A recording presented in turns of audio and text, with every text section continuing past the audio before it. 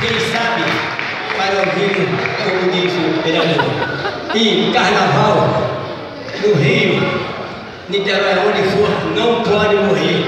E nós somos sambistas, somos macumeiros e somos seres humanos.